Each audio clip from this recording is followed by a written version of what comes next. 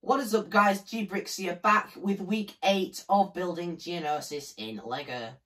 Now, last week we made a start on uh, the mountain. Now, I am going to be making some changes to it, mainly because um, the MOC isn't as heavy as I thought it was. I can um, pick it up quite easily, so with the mountain on, it is going to be more difficult, but um, we should be able to pick it up and um, take it downstairs.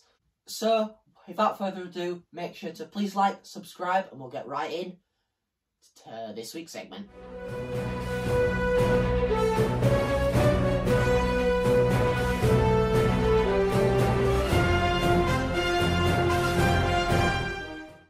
So, starting off this week's segment, last week, as you can see, uh, we got this part of the mountain done, and I was able to achieve um, it, to make it modular pretty well, but um, parts just kept falling off, and I just didn't really like how it was looking. So hopefully we are going to be um, making a few changes. So I'm going to do a quick time lapse of me doing that.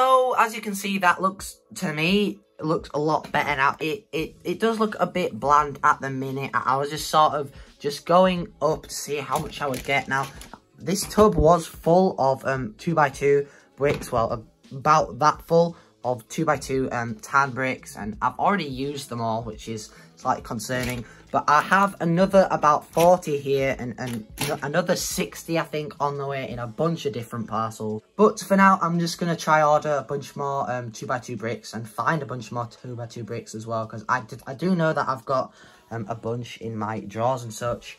But um, that's looking really good so far. I, I'm going to work a bit more on uh, the terrain here um, whilst I wait for um, some more parts to come in. So as you can see, I made a bunch more progress on this sort of like this bit of terrain around here.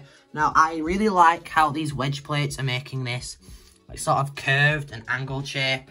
And I really like how that looks.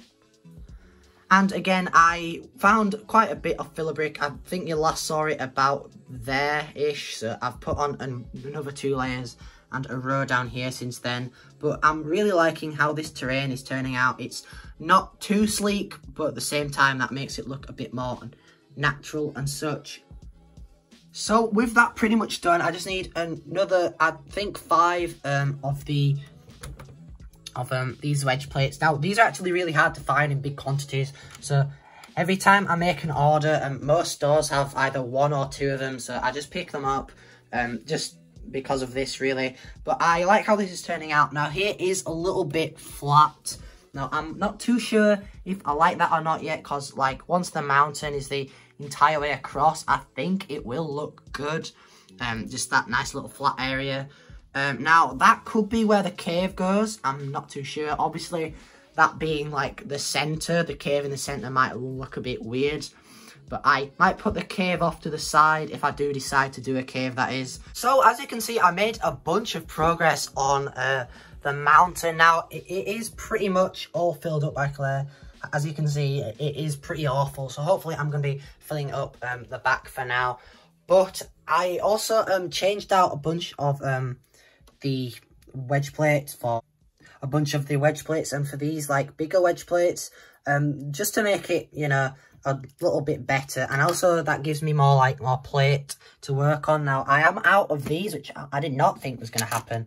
Um, I've just been using them you know, to fill in gaps all underneath here, all in the mountain too, as, as you can see, um, because some of them are like a plate up and a plate down and such, but I think this looks pretty good. So for now, that's all I am going to do. Um, I going to wait for some more parts to come in and open up those um, and hopefully just continue this area over here. Now here I have put in this little grate. Now I've been um, prototyping that for a while, but I think that it is an, a nice little detail in there as you can see and I will be putting one further down over there I believe um, mainly because the droid factory um, would be behind here and underneath um, the mountain too and all underground really so a bunch of parcels um, came in so I'm going to quickly go ahead and go through those Oh, in that order, I literally picked up um, six of these. Now, I spent ages just ordering as many of these as I could. Um, there was from maybe 22 to about 4 is the most I ordered. Um, and 4 is um, the least I ordered. Moving on to the next one. And again, I picked up um, 7 of those as well. So I picked up um, a, a, bunch more in here. I picked up um, 10, I, I believe, and then uh, some more of those wedge plates there.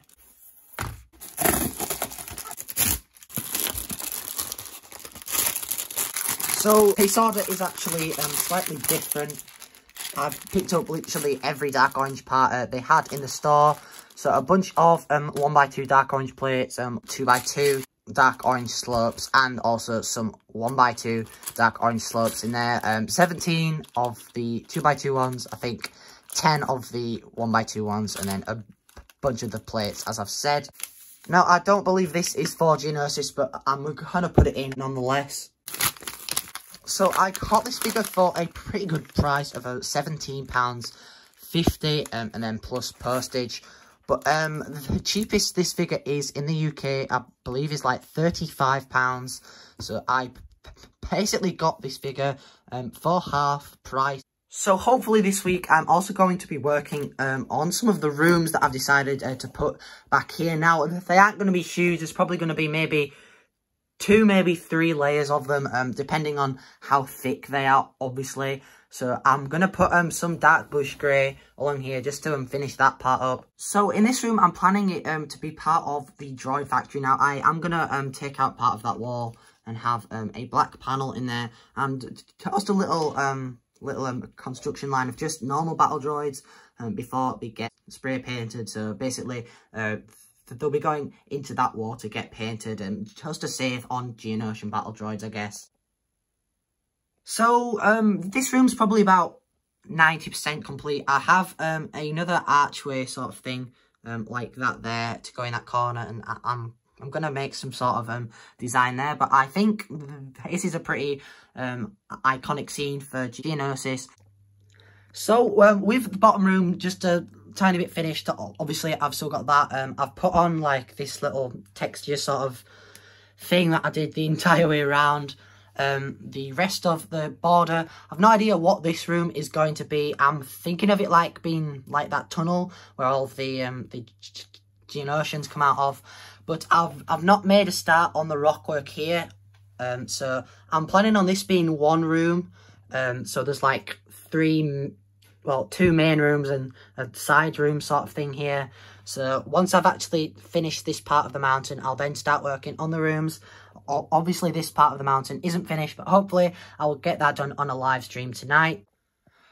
But one thing I have here in um, preparation for a couple of weeks segments time is I have um, raised up this by one plate, um, which was a paint, and I've purposely left this gap um, but that pretty much wraps it up for this week's segment and I'm really liking all the progress that I have got done. So that pretty much wraps it up for this week's segment. Uh, we got a bunch of progress done in this week's segment. Um, the, the mountain is beginning to look half finished, I guess. So we got a bunch of progress done in the room and also those other three, possibly two rooms um, hopefully will be done in a couple weeks segments time because I have um, that part of the mountain still to do. I've got about 20 parcels on the way for those, but I think this is coming along really well. There is a link to my TikTok and Instagram down in the description below and a big thanks to the series sponsor. So make sure to please like, subscribe and most importantly, take care guys.